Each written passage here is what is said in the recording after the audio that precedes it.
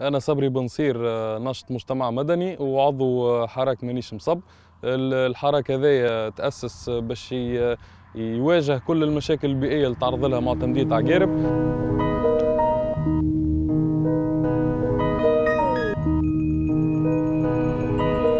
إحنا توا في المحمية الطبيعية بالقلنا معتمدية عقارب ولاية صفاقس.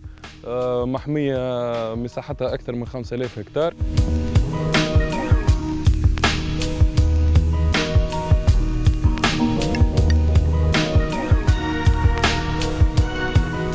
لكن تم الاعتداء عليها بعديد بعديد عوامل التلوث. وهذه أول مشكلة اللي هي آه، مشكلة آه، تصريف آه، ال- ال- المياه المنزلية المستعملة اللي متسبب فيها متسبب فيها ديوان التطهير بما يعرف ال- ال- ال- اللوناس هذه المحطة كما نشوفوا فيها موجودة على بعد تقريبا 300 متر من المكان اللي إحنا موجودين فيه. عندهم آه، روجارات معدين بهم انستالاسيون كاملة باش يدخلوا للمحمية باش يتصرفوا في المياه المستعملة في آه، واد يسموه واد قرقور. الواد هذا يمتد تقريبا على مسافة 8 كيلومتر.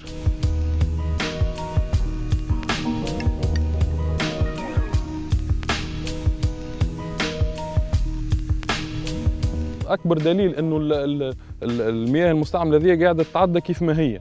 من غير أي معالجة إنه محطة تطهير تو تعدينا من بحذاها آه، ثم مراوح الفوق يدلوا إنه ال- المحطات قاعدين يخدموا. المراوح هذوكم آه، ساكتين. يعني ثم دليل دليل كبير إنه ما, ما ما هماش قاعدين يخدموا يعالجوا في المياه هذه وقاعدة تتعدى كيف ما توصل من آه، من محطات التجميع للمحطة هذه آخر محطة تجميع في عقارب.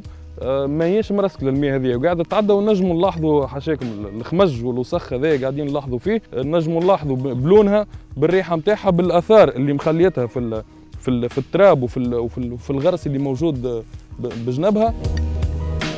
هذا يضر يضرنا في الرواح يضرنا في الرواح يضر يضر ال- ال- المحمية إنه برشا برشا حيوانات كانت تعيش في المحمية وهجمت البر على خاطر تعديت على البيئة بتاعها كيما الخنزير كيما الفاعي كيما برشا حاجات.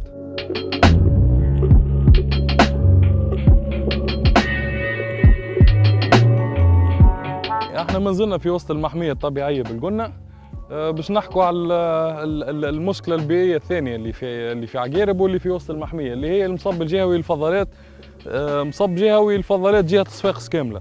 ال- المساحة نتاعو تمتد على 35 هكتار وطاقة الاستيعاب طاقة الاستيعاب تقدر يوميا ب 600 طن نفايات منزلية و20 طن نفايات صناعية. المصب هذايا إنه ما, ما يعتمدوش إنه تقنية رسكله النفايات أو إلى ما غير ذلك. يعني هما يعتمدوا في تقنية الردم. ويقولوا إنه النفايات يردموها بط- بطريقة آه، بصفة شبه يومية. لكن نجموا نشوفوا الأكداس هذيا نتاع نتاع الزبلة ما هيش مردومة. الشيء اللي يتسبب في برشا كوارث بيئية و...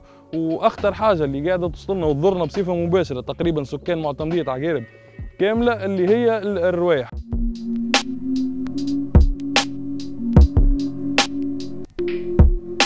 هذه المشكلة البيئية الثالثة في معتمدية عقارب.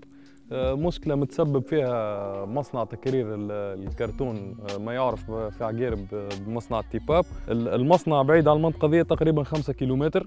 موصلين installation كاملة باش باش يتخلصوا من ال- من الماء اللي يستعملوا فيه في تكرير الفيتورة اللي هو أصلا الماء تكرير ال- الكرتون آه، سامحوني. اللي هو أصلا الماء استنزاف لل- للطبقة المائية.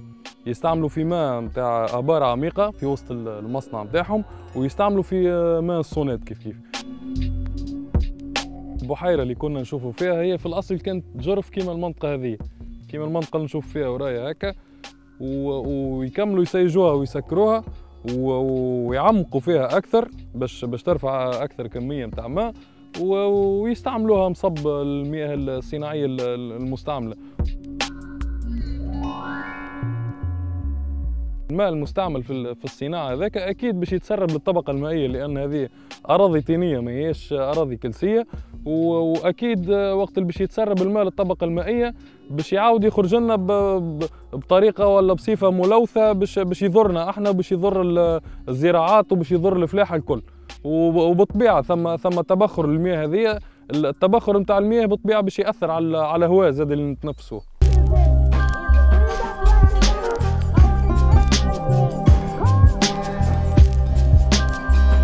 المشكلة البيئية الرابعة في معتمدية عقارب عندنا مصب مرجين وفضلات المعاصر. يقال إنه أكبر مصب مرجين في, العالم موجود في معتمدية عقارب وهذا مصب يتخلصوا منه في فضلات المعاصر والمرجين. كل معاصر زيتون صفاقس. كل معاصر صفاقس تصب في المنطقة هذه. المرجين هذا أكيد يتسرب للطبقة المائية وبعد إحنا باش نشربوه من الطبقة المائية باش يخرج لنا إحنا وباش يمشي في المياه نتاع الري وباش يمشي في في الغراسات نتاعنا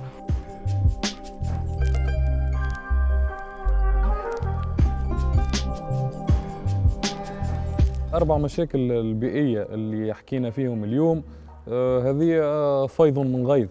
هذه جزء بسيط من من عوامل التلوث اللي موجودة في عقارب ومن الجرائم البيئية في حق المدينة هذه ومن الإرهاب البيئي الممارس علينا من طرف الدولة ومن طرف الخواص. وعلى 40 ألف ساكن آه، آه، حبينا إحنا كمجموعة من الشباب تخلقت الفكرة كردة فعل على التلوث اللي عايشين فيه.